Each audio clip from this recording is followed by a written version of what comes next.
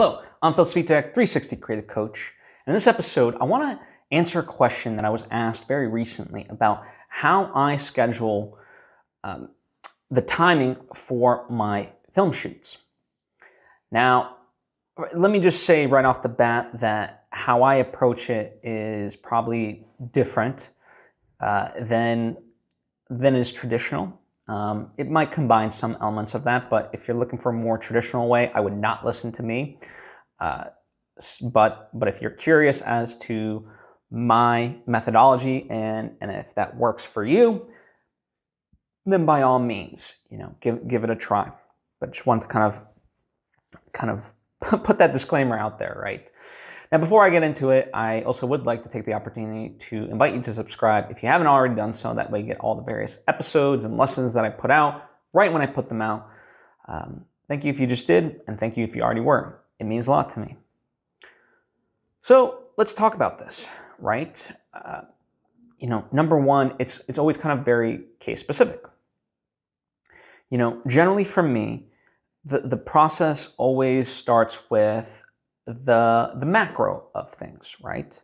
So, meaning if, if you're trying to schedule out, uh, you know, an entire film shoot, and uh, let me just kind of talk about it in terms of a short film, but you know, the same, you just extract it to to be a feature film as well if you want to apply it to that because it's the same methodology. But you know, let's say you have a 10 page uh, short film with uh, five scenes, right? And they're not all equal length. Some are like half a page, some are longer, right?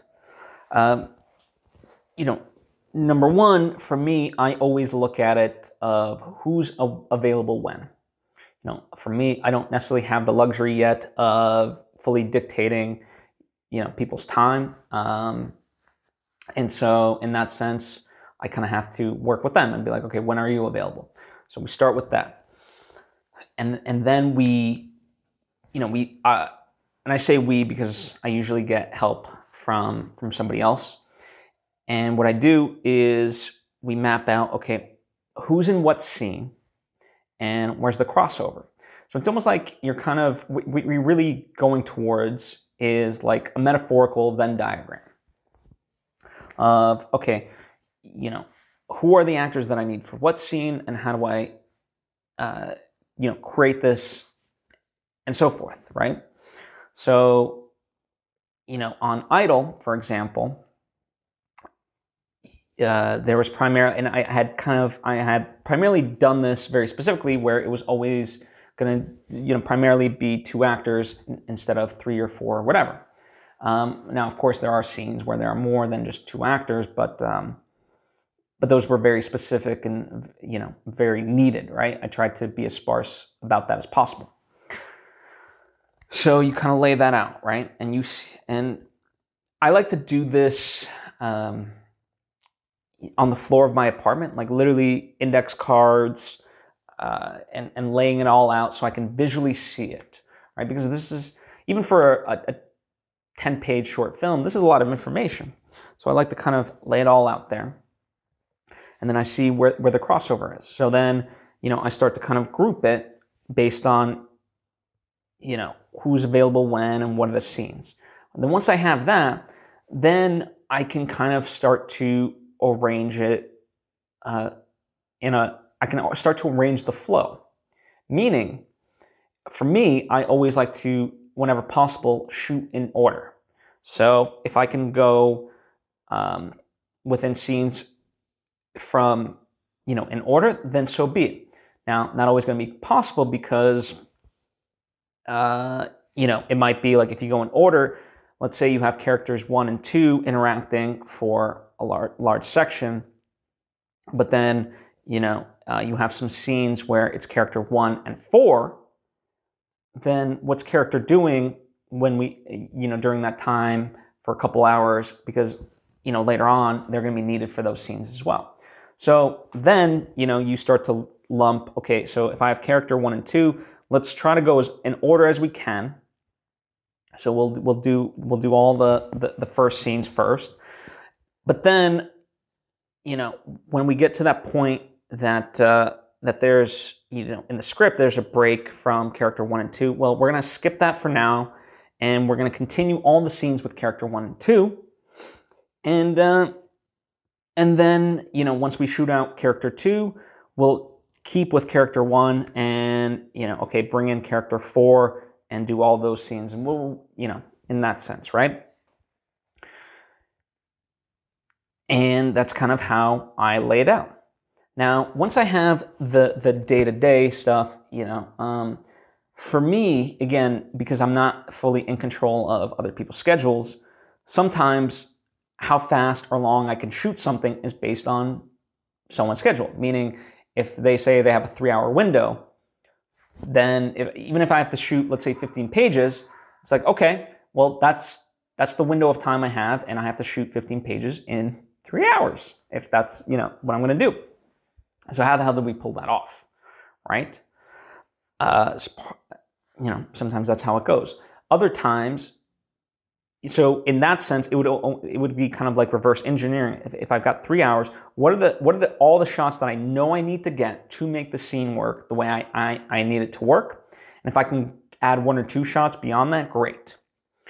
Um, otherwise, you know, the the way you know, if you have the luxury of dictating someone's time in that sense, then you do the opposite. You lay out the shots you want and you kind of map it out. And based off of that, then you're like, okay, I know I can shoot out these uh, 15 pages in, in six hours safely, right? Whatever the case may be.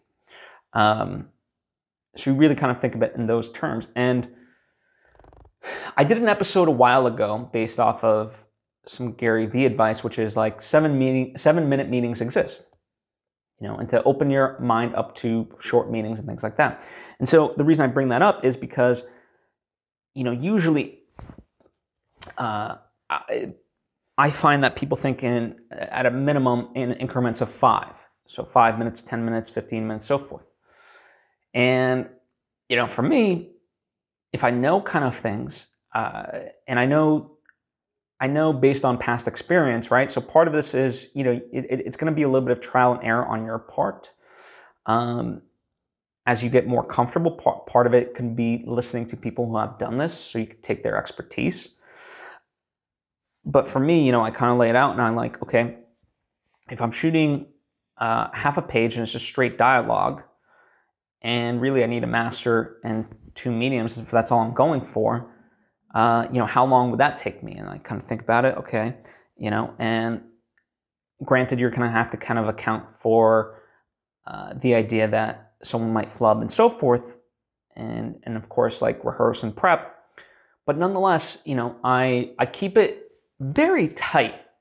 Um, some have argued too tight, but for me, it's almost like I, I relish in that like that that idea where someone hits the switch and it's like go, go, go, right? So by keeping it tight, and I've talked about this, it's like uh, Parkinson's laws. Um, time, uh, I'm, I'm going to kind of slightly butcher this, uh, the exact definition in terms of the right verbiage, but the idea is that time either expand, time will either compress or expand depending on your deadline. So if your deadline's two weeks, meaning it's going to take you two weeks to do it. If your deadline's two hours, you'll find a way to get it done in two hours. Uh, so I always, for me, I, I, have that in the back of my mind, and I've, I, you know, I, I, have seen this to be true um, in all facets, but but even in filming, and so I utilize that. So I'm like, okay, let me let me be tight with this because I know we want to get a lot done. I mean, going into this proof of concept uh, for my second feature film that I'm doing, there's essentially like 30 shots, and and they're all very different. Some have movement and so forth, but we're going to get these 30 different shots in, in about an eight hour period. And by the way, it would go even faster. Um, I'm, I'm, keep, I'm keeping people, uh, I'm filming people separately. So meaning, you know, even though they might be interacting in, in the same shot, I'm not having them in the same shot because, uh, because of COVID and stuff like that. So, you know, 30 shots, give or take, really becomes more like 45, give or take. Uh, and, and so you know, in that sense, that's you know, most people there, if they get 20 shots in a day, they're, they're good. Now, the good news for me, I'm not shooting an action film, although there is some action stuff, but it's not an action film per se. So I have that to my advantage, and obviously that's, you know, that's intended because that that allows me to be faster. Uh, and I also, you know, much in that way, I think one of the things that benefits me is by being an editor, I know exactly what I need and how to film 100% what I need. So that way, I don't I don't need to get. Co- I, I think sometimes, you know, coverage is great. You need coverage, but I think sometimes people overdo coverage for the sake of it, uh, and then that slows them down. Whereas for me, I'm very specific with how I, what I need and so forth. And even you know one of, one of the methods why I don't do a lot of takes is if I'm doing a if I'm doing let's say a close up on somebody, I'll do it. You know, usually I'll do two takes. But if someone flubs a line, I just say stop. We're not going to do the rest of the take. Let's go back a couple of lines. So that way you get a rolling start into it. I'm not just going to pick it up at the line that they flubbed. And let's just do it from there, right? And and so that that is uh, another way that I conserve time. I don't go through entire takes if someone flubs or something like that. And you know, I don't restart from the start. I just pick up a couple lines back. But yet, you know, I like for for uh, for this proof of concept that I'm about to do, you know, I just kind of look at it. Okay, what's the action? Well, you know, all the shots really that I'm getting are really like most of them will be five seconds tops, right? And so it's like, okay, uh, you know, I also also like to kind of figure out ways that I can have the camera be in the same position with the same lighting and just knock off multiple shots. So, you know, can I from this position get a wide shot, a medium shot, and a close up, right? Because that speeds up the process. So if I'm in the same position, then eh, then I can go faster and still get the coverage that I need. So how do I do that based off of this one position? Now, for me, as far as the proof of concept, I'm filming in front of a green screen. So I have the ability to, for me, remain in the same spot uh, for the most part and just turn the actor, right? It really is that wonderful for me. Uh, and so, you know, because it's a lot easier to move them in this particular case than move the camera. And that allows me to not have to reset up often. And so I can get these shots off in five minutes. So even if I did like four or five takes of a particular shot, I can knock out shots in five, seven minutes. Um, so it's it's you know really wonderful in that sense. But this is how kind of I approach it, and so you know going back to the idea that I know I have the actors uh, laid out in terms of who's going to be in what scene and the order we're going to film things in, and you know, I just kind of start creating the shot list and looking at, okay, well, how long do I, you know, how long am I going to give it um, to to film some of this stuff? And and as I said, like part of it is just very arbitrary, you know, um, to restrict myself. I mean, it's no different like when when Robert Rodriguez made Spy Kids, he just made up an arbitrary budget of 35 million. Now, 35 million, a lot of money, uh, you know, but nonetheless, for the, the movie he was going for, that is that is nuts, right? And yet he's like, no, I want to restrict myself and be creative, and so you know, let's let's try 35, and we'll make it work with 35. It just became an arbitrary number that he picked. And so sometimes, you know, for me, it falls down to that in terms of the timing of like, I'll be arbitrary, like, okay, we're gonna give ourselves seven minutes to do this one shot. take seven minutes? No, but that's what we're gonna give ourselves. And you know, then as I kind of start to see it you know, the, the, the thing of it is you go through different iterations. So, you, you know, you go through a first draft and you kind of see, okay, where are we at with this? Okay, well, I gave, I gave way too much time for X, Y, and Z, but we know this is like the, the crux of it. This is where it's, you know, these are some of the important shots. The, this is a, a key moment of the movie.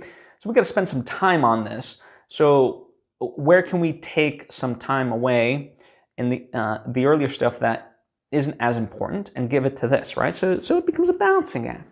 And you go through a couple of versions of this till it feels right.